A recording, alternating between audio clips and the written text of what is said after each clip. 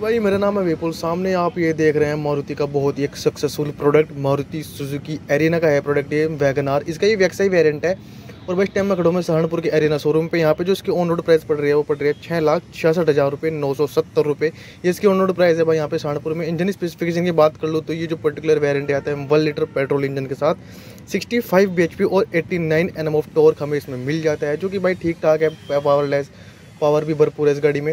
Halogen light हमें यहाँ पे मिलते हैं, यहाँ पे इंडिकेटर और इस तरह का यहाँ पे क्रोम यूज़ हमें इसका सेंटर में मिल जाता है यहाँ पे मारुति का लोगो भाई ये थोड़ा लुक को एनहेंस करने के लिए गया है। यहाँ पे ग्राउंड क्लियरेंस की मैं बात करूँ तो 165 सिक्सटी mm की हमें इसमें ग्राउंड क्लियरेंस मिल जाती है भाई। थोड़ी सी गाड़ी चोरी कर दिया भाई पहले से। हमें डुअल वॉशर डुअल वाइपर के साथ ही गाड़ी मिल जाती है भाई। और वॉशर की क्वालिटी भी भाई इसकी ठीक ठाक ही है मतलब वाइपर्स की क्वालिटी भी। और इस तरह से मिल जाती है हमें कुछ इसकी डायमेंशन की अगर मैं बात कर लूँ तो भाई लेंथ मिलती है हमें इसकी छत्तीस सौ पचपन एम एम और भाई विर्थ मिलती है हमें सोलह सौ बीस एम एम और हाइट मिलती है भाई इसकी सोलह सौ पिछहत्तर एम एम ये चीज़ की कुछ डायमेंशन और यहाँ पे फेंडर पे हमें इंडिकेटर मिलेगा इस वाले वेरिएंट में वी में। बॉडी कलर हमें इसमें ORVM मिलेगा। और अगर मैं टायर साइज़ की बात कर लूँ तो टायर साइज़ हमें इसमें भाई नेट में check one sixty five seventeen और फोर्टीन इंचज़ के हमें यहाँ पे स्टील रिम हमें मिलेंगे। ब्लैक हमें स्टील रिम मिलेंगे, यहाँ पे डोर हैंडल्स भी हमें बॉडी कलर दिए गए, कोई ग्रोम गार्निश हमें लाइफ में यूज़ नहीं करे। इस तरह की हमें इसको कुछ साइड प्रोफ़ाइल मिलती है भाई। पीछे से गाड़ी ये थोड़ी लंबी करी है, ये वाला पार्ट जो हमारी पुरानी वैगनार थी, वो थोड़ी सी लेंथ उसकी कम थी, लेकिन ये इतना हिस्सा, ये वाला इसका, ये थोड़ा बढ़ाया गया है, जो कि भाई बूट स्पेस अब इसका बहुत शानदार हो चुका है भाई, इस गाड़ी का बूट स्पेस पहले तो बहुत कम आता था, एक सौ अस्सी लीटर का बूट स्पेस इस तरह हमें बॉडी कलर की, यहाँ पे डोर हैंडल्स यहाँ पे हमें मिलते हैं। अगर मैं बैक लुक की बात कर लूँ तो इस तरह के हमें कुछ कुछ गाड़ी की बैक लुक यहाँ पे हमें मिलती है। भाई वैगनार यहाँ पे क्रोम का यूज़ वैगनार पे लिखा गया है। और इसमें हमारा आता है यहाँ पे सेंसर अगर आपकी गाड़ी अनलॉक है तो इस तरह का हमें मिलता है कुछ इसका बूट स्पेस पार्सल ट्रे हमें इसमें मिल जाती है। बूट स्पेस हमें मिलता है भाई 341 लीटर का बूट स्पेस हमें मिल जाता है।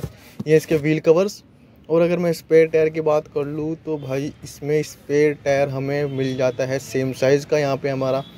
और यहाँ पे हमें कोई डिग्गी की लाइट हमें यहाँ पे नहीं मिलती किसी भी तरह की। थ्री फोर्टी वन लीटर का बूट स्पेस है भाई, जो कि डिसेंट है। पहले वाली वैगनार से तो ठीक है बूट स्पेस के मामले में इसे करते हैं। बंद यहाँ पे सुजुकी का लोग इस तरह की इसकी टेल लैम्प जो कि स्कॉर्पियन में भी ऐसी थोड़ी सिमिलर सी दी गई हैं।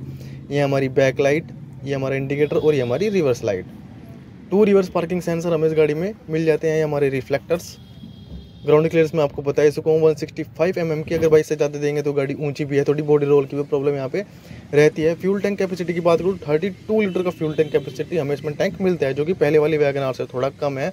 उसमें हमें भाई थर्टी फाइव का मिल जाता था, इसमें लेकिन थर्टी टू का। और भाई इस तरह के हमें ऑटोमेटिक एडजस्टेबल हमें ओ आर यहाँ पे इसमें मिल जाते हैं।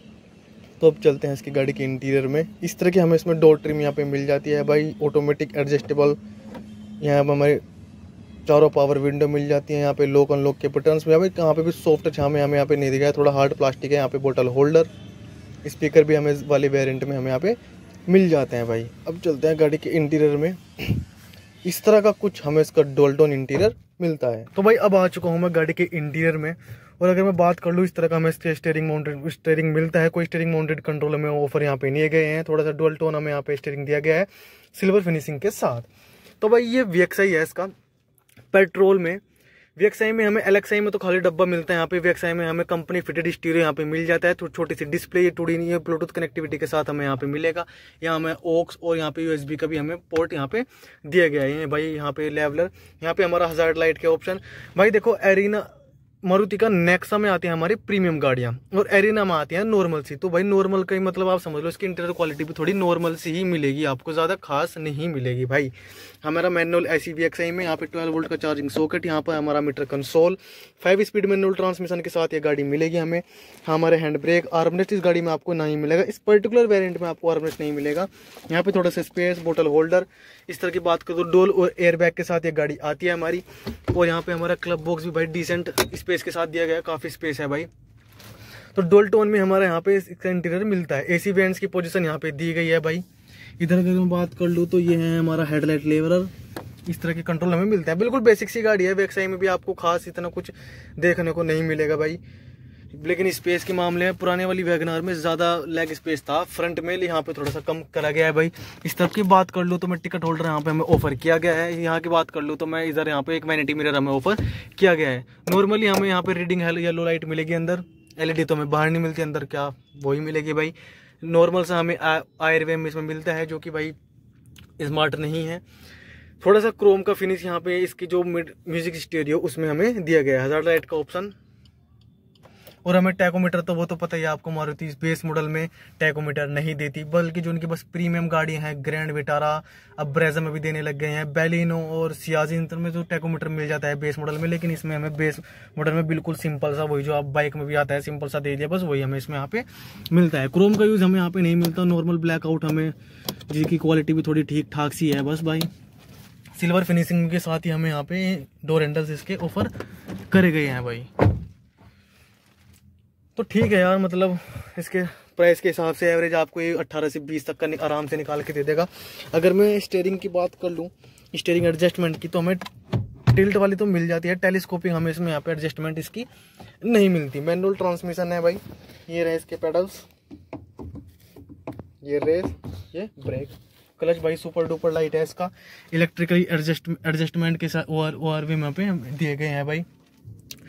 तो ठीक है यार मतलब अपने यहाँ पे कोई इस तरह का कुछ खास यहाँ पे नहीं दिया गया। अगर मैं बात कर लूँ इसके रियर स्पेस की को रियर स्पेस दिखा देता हूँ मैं आपको एक बार इसका। सीट एडजस्टमेंट की अगर मैं बात कर लूँ भाई सीट एडजस्टमेंट में हमें कोई हाइट एडजस्टमेंट यहाँ पे नहीं दिया गया है। भाई जब गाड़ी बहुत ऊँची है तो हाइट तो आपको इसमें कमांडिंग आपको इसमें बिल्कुल लगती है भाई। और इस तरह के मिलते हैं हमें मैट्स यहाँ पे तो भाई वो रखे गए हैं बाद में। भाई, आपको लेग स्पेस में तो आपको उसको भरपूर मिलेगा। लेग स्पेस में कोई प्रॉब्लम यहाँ पे मेरे हिसाब से तो नहीं आएगी, क्योंकि गाड़ी पहले से थोड़ी लंबी करी गई है भाई। नॉर्मल सही है देखो आप क्वालिटी मारुति की। इस तरह का हमें पावर विंडो के स्विच सिल्वर फिनिशिंग के साथ हमें यहाँ पे दिए गए हैं। गत्ता देखो, बस ये पता नहीं क्या लगाते हैं। और ब्रश इसमें हमें यहाँ पे नहीं मिलता एडजस्टेबल हेड इसमें हमें नहीं मिलते यहाँ पे। स्पेस आपको ठीक मिलेगा, पीछे ना कोई ट्वेल्व वोल्ट का चार्जिंग सॉकेट है, ना कोई आर्मरेस्ट है। पार्सल ट्रे हालाँकि आपको मिल जाएगी, रीडिंग लैंप आपको नहीं मिलेगा, पीछे सिर्फ़ रीडिंग लैंप आपको इसमें आगे ही मिलेगा भाई। तो ठीक है मतलब डिसेंट सी है भाई नॉर्मल गाड़ी है। यहाँ बोटल होल्डर हमें ऑफ़र यहाँ पे किया गया है। तो अपना भाई, जिसका कम बजट है भाई, बड़ी गाड़ी भी है मतलब स्पेस के मामले में भाई बेहतर है। स्पेस के मामले में एस्प्रेसो से कंपेयर करूँ बहुत बेहतर ये गाड़ी आपको स्पेस के मामले में भाई मिलेगी। तो ये थी गाड़ी भाई मेरी। मतलब ये थी वीडियो मेरी भाई V X I particular WagonR V X I के बारे में। वीडियो देखने के लिए आपका धन्यवाद। अगर वीडियो इन्फॉर्मेटिव लगी हो तो एक लाइक ज़रूर करना। मिलते अपनी नेक्स्ट इंटरेस्टिंग वीडियो में। जय हिंद, जय भारत।